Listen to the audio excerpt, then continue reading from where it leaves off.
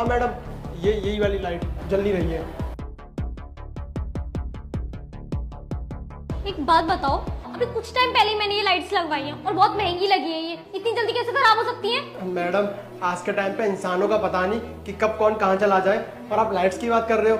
Ma'am electric चीज़ें खराब होती रहती हैं। और देखो मैंने भी चेक कर लिया। आपको विश्वास नहीं हुआ? आपने भी चेक कर लिया। मैडम ये खराब होगी रिप्लेस होंगी और कुछ नहीं। मुझे सब पता है तुम लोगों का। तुम ना बस पैसे बनाने के लिए ना झूठ झूठ बोल देते हो। कोई खराब नहीं है लाइट सही करो इसे। मैडम मैंने कोशिश तो कर ही ली है। अब नई लाइट आएँगी। आप ऐसा करिए मेरे को पैसे दे दीजिए मैं नई लाइट ला के लगा दूँगा। ठीक है पैसे लेकर आती हूँ। ठीक है।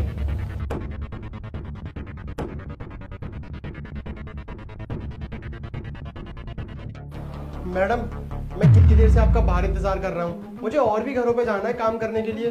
मेरे पैसे दे दीजिए ना। हाँ मैं आपके पैसे लेने के लिए आई थी बट वो क्या है ना कि मैंने चेक कर लिया है मेरे पास कैश नहीं है तो ऑनलाइन हो जाएगा? ऑनलाइन ही मैडम आप मेरे को पेमेंट ऑफलाइन भी कर सकते हो वैसे। मतलब? मुझे कैश देने की कोई ज़रूरत नहीं है। मैं आपका सारा काम फ्री में कर दूँगा। बस आप मुझे खुश कर दीजिए एक बार। क्या बकवास कर रहे हो तुम? तमीज नहीं है क्या बात करने की? मैंने यहाँ तुम्हें सिर्फ़ और सिर्फ़ लाइट रिपेयर करने के लिए बुलाया था। बकवास कैसे करी तुमने मुझसे? मैडम आपको कुछ दिखाना चाहता हूँ मैं। शायद आपका देखने के बाद मन बदल जाए थोड़ा। ये देखो। ये ये, ये तो मेरी फ़ोटो है। जी हाँ आपकी ही फ़ोटो है। अच्छी है ना? ये फ़ोटो वायरल करने में मेरे ज़्यादा टाइम नहीं लगेगा। अब आपकी मर्ज़ी है। फटाफट मुझे खुश करो या फिर दुनिया को अपना तमाशा दिखाना। क्या मिल रहा है तुम्हें ये सब कुछ करके? मेरी फ़ोटो डिलीट कर दो वरना तुम्हारे लिए ना अच्छा नहीं होगा। अच्छा मैडम ये डायलॉग आप पे सूट नहीं कर रहा। अच्छा आपके साथ नहीं होगा। चुपचाप जो बोल रहा हूँ वो कर लो वरना फ़ोटो वायरल कर दूँगा मैं। देख फ़ोटोज़ को ना चुपचाप से डिलीट कर दे वरना मैं पुलिस को कॉल कर दूँगी। ओ, क्या बोला? पुलिस? मैं, मैं, मैं तो डर गया। ये अपनी धमकी ना अपने पास रख। चुपचाप जो बोल रहा हूँ ना वो मुझे करने दे। और हाँ पुलिस जब तक आएगी ना तब तक मैं गलत काम करके जा चुका हूँ अब मैं जो कह रहा हूँ वो मुझे करने दे। और अबे ओए पुलिस आएगी नहीं पुलिस आ चुकी है। पुलिस को किसने बुलाया यहाँ पर? मैंने बुलाया पुलिस को। तुझे क्या लगा था? कि तू मेरी फ़ोटोज़ खींचेगा और मुझे पता नहीं चलेगा। जब तू वो फ़ोटो क्लिक कर रहा था ना, और मैंने तुझे देख लिया था और पुलिस को कॉल भी कर दिया था।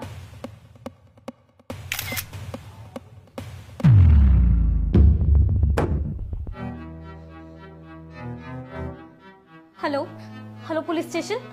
Sir sir, मैं इंद्रपुरी कॉलोनी से बात कर रही हूँ, शर्मा जी के यहाँ से। आप प्लीज़ यहाँ पे जल्दी से आ जाइए। मैंने यहाँ पे एक इलेक्ट्रिशियन को बुलाया हुआ था लाइट्स रिपेयर करने के लिए। बट सर, वो इलेक्ट्रिशियन उसने मेरी प्राइवेट पिक्चर्स क्लिक कर लिए हैं। आप प्लीज़ जल्दी से आ जाइए मुझे बिल्कुल भी सेफ़ फील नहीं हो रहा है। ठीक है सर सर मैं मुझे प्लीज़ माफ़ कर दीजिए मेरे से बहुत बड़ी गलती होगी। मैं अगली बार ऐसा नहीं करूँगा। अबे ओए ये अपने ड्रामेबाजी ना बंद कर। तुझे इतना सब कुछ करने के बाद भी ये लग रहा है कि मैं तुझे माफ़ कर दूँगा। वो तो अच्छा हुआ कि इस लड़की ने तुझे फ़ोटो लेते हुए देख लिया।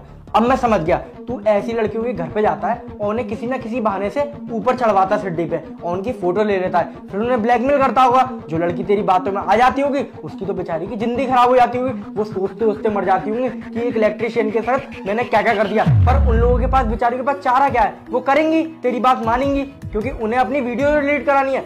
बेटा अब और तुझे खुले में नहीं डोलने दूँगा। तुझे तो थाने में डाल के ऐसी तोड़ाई करूँगा ना कि तू जो फ़ोटो खींचता है ना वो फ़ोटो खींचना बंद कर देगा आप तू। प्लीज़ सर मुझे छोड़ दीजिए। और हाँ जितने भी फ़ोटोज़ थे ना वीडियोस थी मैं सब डिलीट कर दूँगा। इधर दे अपना फ़ोन। पहले जब ये सब कर रहा था तब नहीं सोची इन सब के बारे में। अब चल थाने तुझे वही देखूँगा। चल! चलना!